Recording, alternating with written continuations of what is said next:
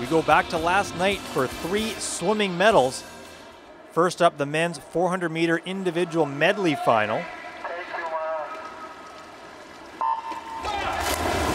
Race features Josh Prenot. He's already won gold twice here in Gwangju in the 200 meter individual medley and the 200 meter breaststroke. And also Keita Sunama, silver in the 200 meter backstroke and bronze in the 200 IM but it will be Jay Litherland of the United States who takes gold here in a time of 4 minutes 12.43 seconds. Prenot 72 100s back. He wins silver.